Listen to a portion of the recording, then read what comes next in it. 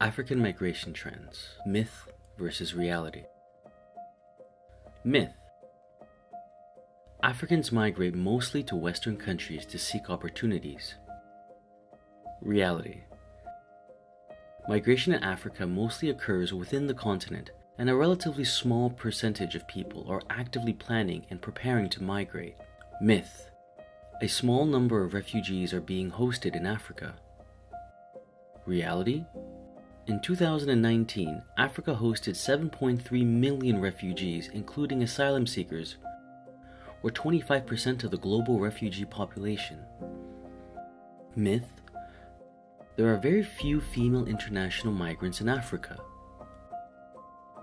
Reality An estimated 47% of all international migrants in Africa are female.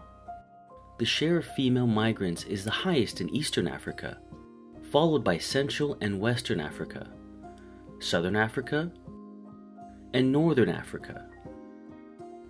Learn more about the migration trends in Africa in the African Migration Report.